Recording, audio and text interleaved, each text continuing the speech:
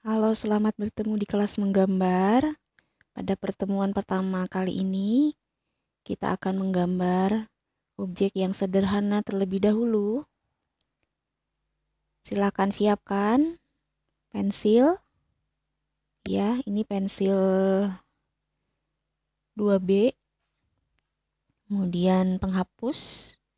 Di sini saya menggunakan penghapus mekanik, ya penghapus mekanik itu bisa dimasukkan eh, ke dalam atau bisa dikeluarkan kita tekan ininya.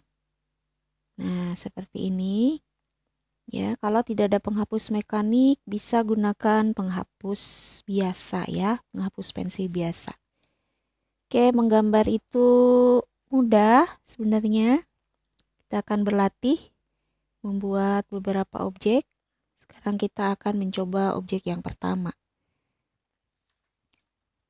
Kalian mungkin tahu ada makanan yang disukai hampir oleh semua orang yaitu telur ceplok. Kayak ya, kita sekarang bikin telur ceplok ya.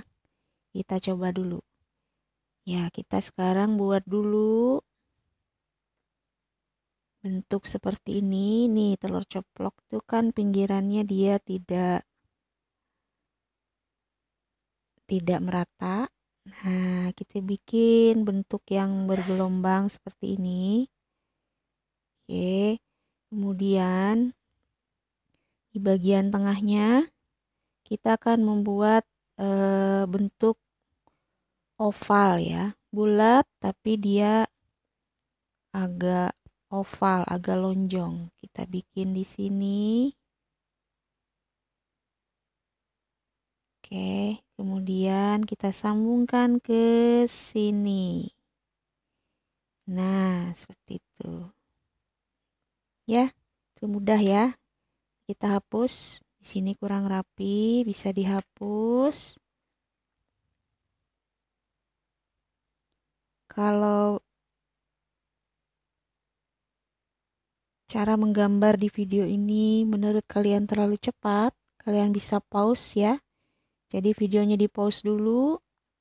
Kemudian kalian ikuti caranya atau kalau misalnya ingin mengulang bisa digeser videonya diulang dari awal ya.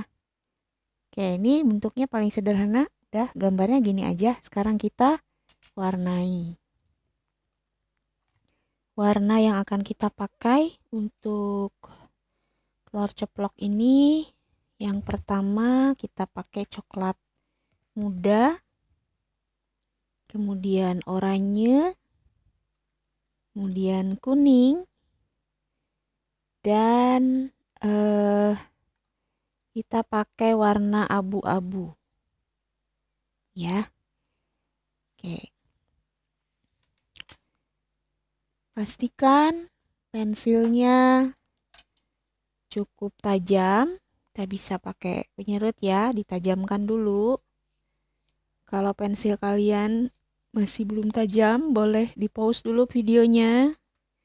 Kemudian ditajamkan dulu dengan penajam pensil atau penyerut pensil. Oke. Nah, kita sekarang akan belajar mewarnai. Kita akan belajar mewarnai, kita mulai mewarnai bagian tengahnya dulu. Ini kuningnya ya. Jadi kuning telurnya itu sebenarnya dia tidak persis kuning tapi bercampur dengan sedikit oranye. Ya, kita warnai dulu dengan warna kuning semuanya. Lihat di sini. Ketika kita mewarnai, kita bisa gunakan salah satu cara yaitu dengan gerakan melingkar. Tuh, jadi kecil-kecil kita warnai rapat biar warnanya rapat ya. Tuh jadi kita pakai gerakan pensilnya melingkar kecil-kecil. Nih.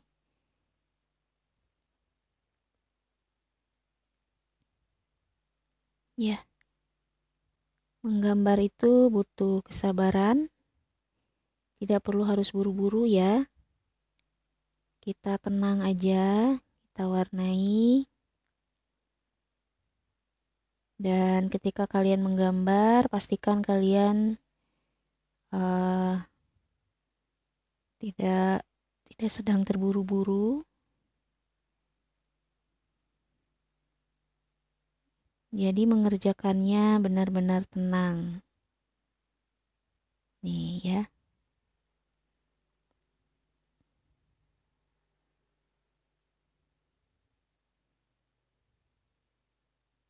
Oke.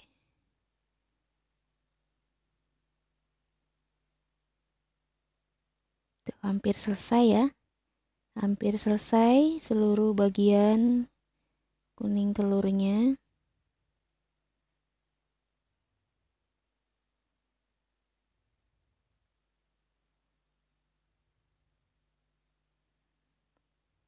Oke. Kemudian kita akan memberikan tambahan warna oranye. Jadi di beberapa bagian kalian boleh ikuti nanti perhatikan ya. Kita akan beri warna oranye di sekitar sini. Nih saya mulai sini gunakan tekanan pensilnya tekanan lemah. Nanti saya ajarkan bagaimana uh, macam-macam tekanan pensil sekarang kita akan praktek dulu langsung supaya kalian bisa melihat uh, bahwa menggambar itu mudah ya. Nah, kita pakai gerakan melingkar nih ya. Kita pakai gerakan melingkar pelan-pelan. Tuh, jadi lama-lama uh, si warna oranyenya menyatu dengan warna kuning. Oke, nih sampai sini. Sekarang kita kasih warna oranye dari sini ya. Nih. Tuh tekanannya jadi pensilnya jangan terlalu ditekan dan pegangan tangan kita jangan terlalu dekat ke sini ya ketika mewarnai. Jadi naikin ke atas sedikit. Kalau kita terlalu uh, dekat dengan ujung pensil biasanya uh, jejak pensilnya menjadi terlalu kuat.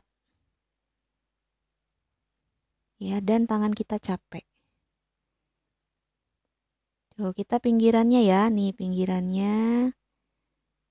Nah, kalau ini terlalu cepat, kalian ingin mengulang seperti biasa di di pause atau digeser lagi ke bagian yang sebelumnya. Oke, sekarang bagian sini ya. Nih, bagian sini saya kasih warna oranye lagi.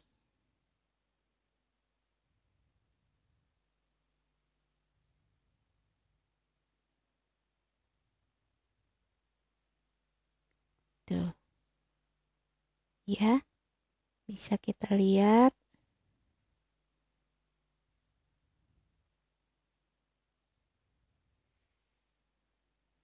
Oke, bagian sini, bagian tengahnya kita tidak akan tambah warna oranye. Jadi yang kita orasi oranye hanya daerah pinggir.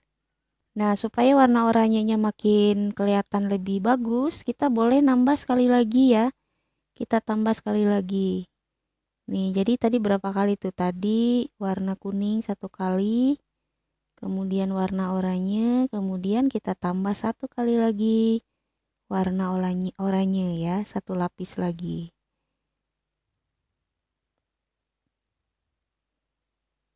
Tuh, pelan-pelan aja. Boleh dicampur cara mewarnainya dengan menggunakan garis pendek-pendek. Terus sekarang yang ini kita tambahin lagi.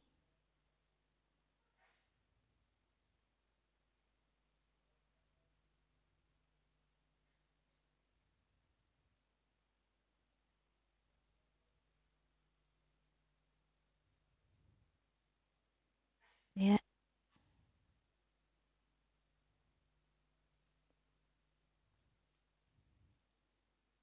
sedikit lagi sebelah sini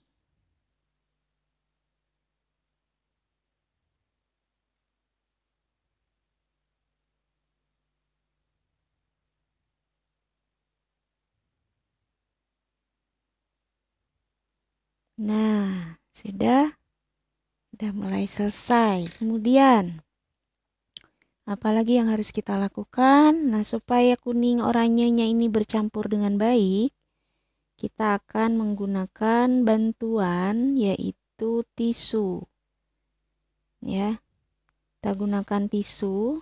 Ini tisu seperti ini kita lipat. Ya, kita lipat. Sebentar ini terlalu tebal. Jadi satu lapis saja. Satu lapis tisu kita lipat menjadi empat. Kemudian kita buat menjadi segitiga. Nah, jadi ujungnya runcing ya. Kayak gini. Sekarang kita haluskan. Jadi kita campur nih warnanya. Tuh, kita letakkan di uh, kertas, kemudian kita putar. Ini putar. ya kita putar tisunya bikin putaran kecil-kecil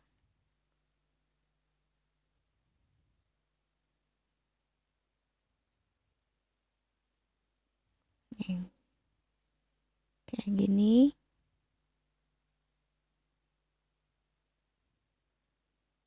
nah, sudah sekarang sudah menyatu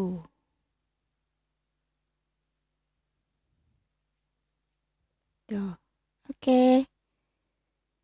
Berikutnya, kita akan mewarnai bagian pinggir ya. Pinggiran-pinggiran dari telur ceplok itu biasanya sedikit berwarna coklat, ya kan? Jadi kita akan gunakan warna coklat muda. Ya. Nah, ini ini kan ada bekas pensilnya ya. Ini jejak pensil. Kita kurangi ya. Kita kurangi jadi kita hapus hapusnya jangan terlalu kuat kita hanya akan mengurangi uh, ini jejak si pensilnya karena kita akan menggantinya dengan warna coklat muda tuh kita kurangi sedikit biar warna pensilnya pudar. Ya biar nggak terlalu kelihatan.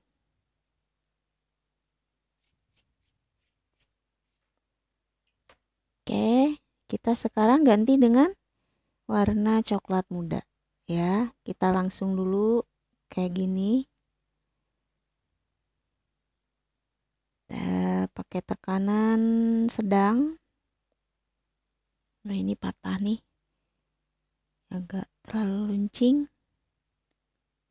Oke ini kita bikin kita ganti garis eh, di pinggirnya. Boleh kita sedikit bikin dia bergelombang ya. Nah sedikit bergelombang di bagian pinggirnya. Ya kalian bisa perhatikan.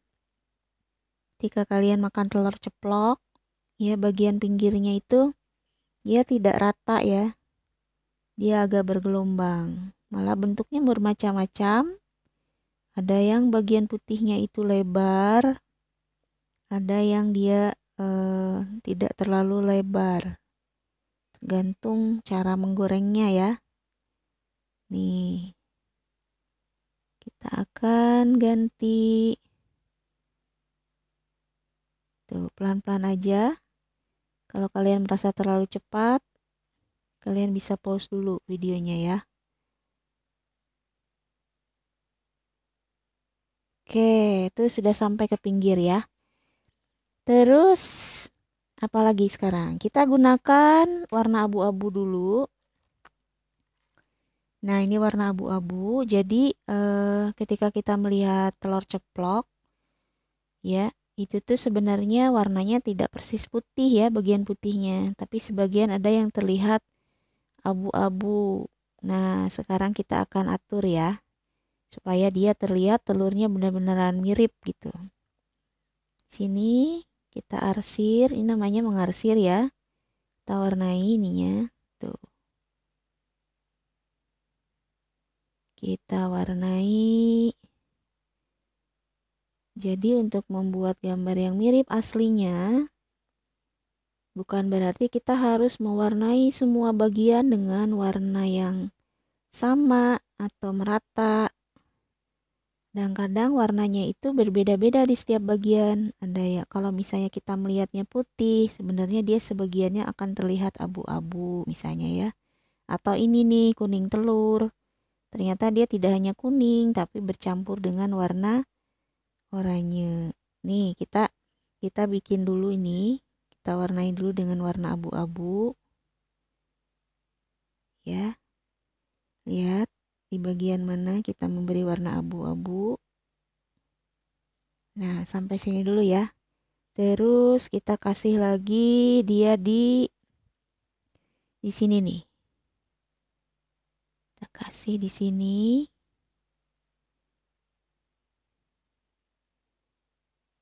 ya jadi bagian sininya e, belum kita kasih abu-abu kita bagian sini aja ini pensilnya gunakan tekanan lemah di video sebelumnya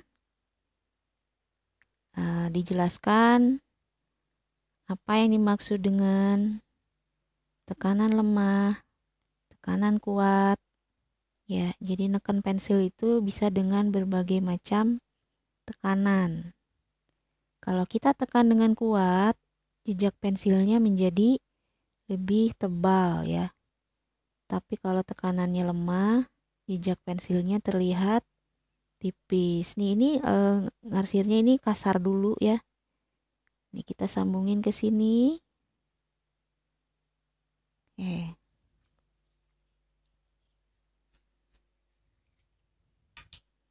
terus yang mana lagi nih? Sekarang di sini ya. Nih saya kasih lagi di sebelah sini. Nanti kita akan ratakan menggunakan tisu. Jadi tidak di semua bagian kita kasih warna abu-abu, tapi hanya di beberapa bagian yang memang perlu diberi warna abu-abu.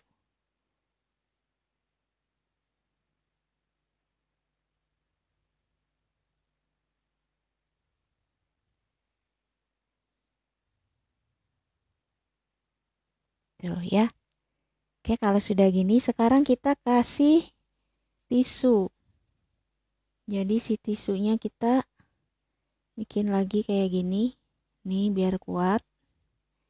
Sekarang kita gosok ya.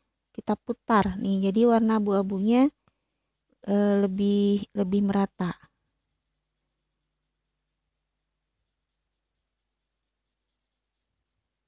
Tuh ya bagian sini juga kita boleh tekan agak kuat dengan gerakan memutar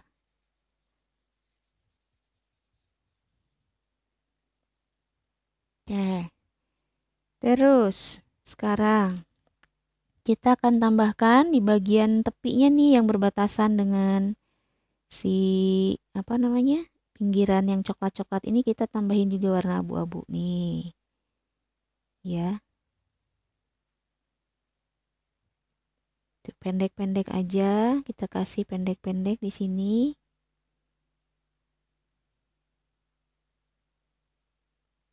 Nah, si, si telurnya nanti jadi akan kelihatan seperti timbul ya.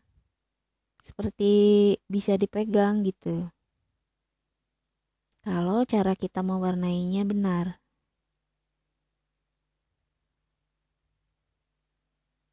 Ya, saya perbesar ya. Ini saya perbesar biar terlihat.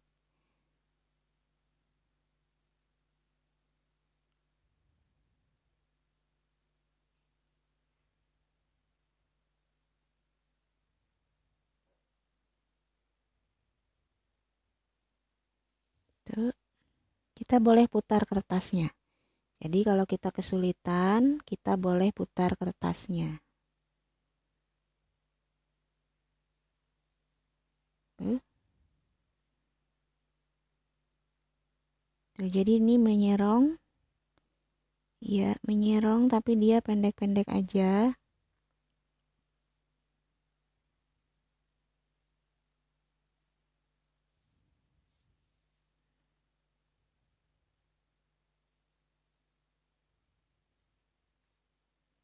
seperti ini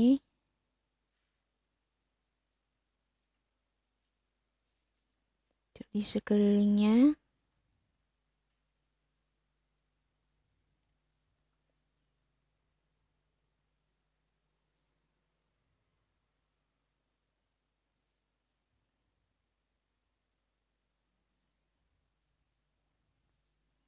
Terus di sini juga kita putar. Tuh. Ya. Oke, saya kecil lagi. Kemudian kita boleh tambah ya. Ini kan uh, pinggirannya ini uh, tipis ya, yang coklatnya. Nah, kita kan bisa melihat pada gambar telur eh pada objek telur telur ceplok itu kadang-kadang beberapa bagian terlihat agak keringnya banyak gitu ya bagian keringnya kita tambahin nih di sini misalnya ya nih kita tambahin agak lebar tuh bagian sininya terus misalnya di bagian sininya juga nih nah nih yang bagian keringnya nih agak agak banyak ke sini nih ya Tuh kan. Terus di mana lagi di sini misalnya. Ya. Satu lagi ya, di mana ya? Di sini, satu lagi.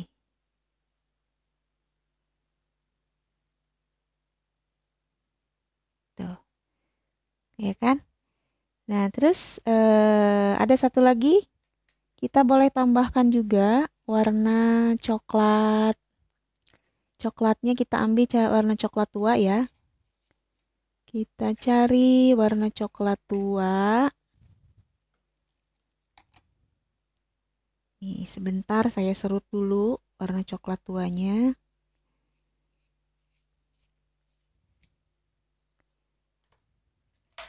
ini warna coklat tuanya untuk menambah eh, bagian yang Nih, ini kebetulan coklatnya ini bukan coklat yang tua banget ya, ini agak merah. Kalian boleh gunakan coklat tua atau boleh juga gunakan warna hitam.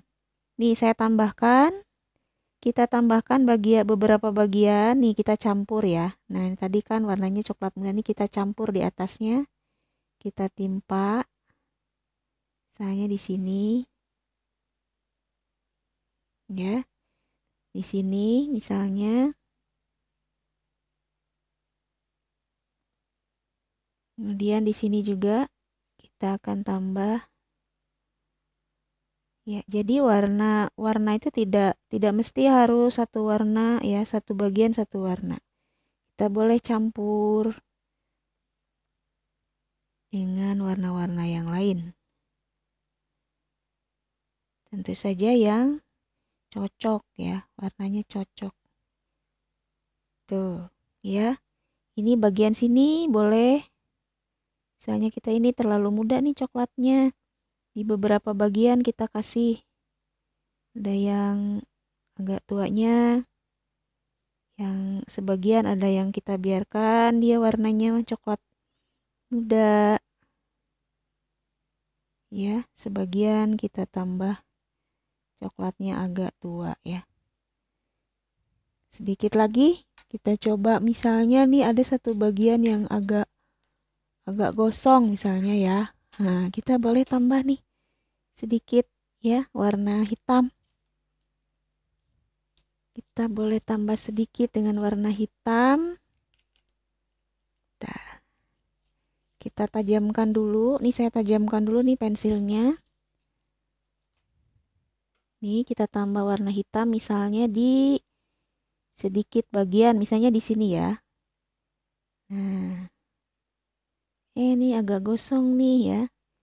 Ini kita kasih misalnya nih agak sedikit gosok apa ya eh, keringnya agak kering banget gitu. Bisa ya. Nah di sini juga misalnya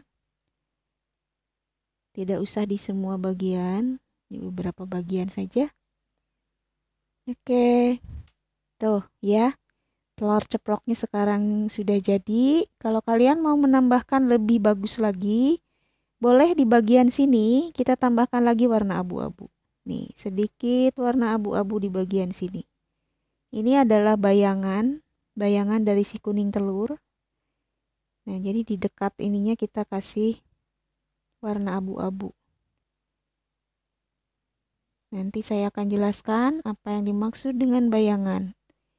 Ya, sekarang saya hanya akan memberikan contoh dulu pada kalian bagaimana membuat uh, gambar yang benar-benar mirip dengan aslinya. Tuh, jadi mewarnainya tidak tidak cepat-cepat ya. Kita perlu sabar. Tuh, kita tambahin sini agak gelap.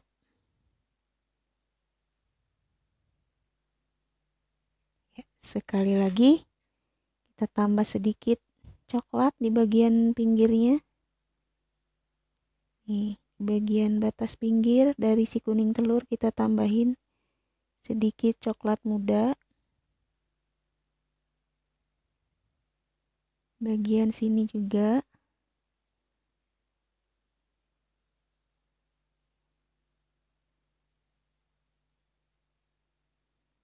Tuh. Oke, telur ceploknya sudah jadi. Ya, selamat mencoba. Kalau kalian merasa video ini terlalu cepat, kalian boleh ulang lagi. Di reply ulang videonya atau di pause ya.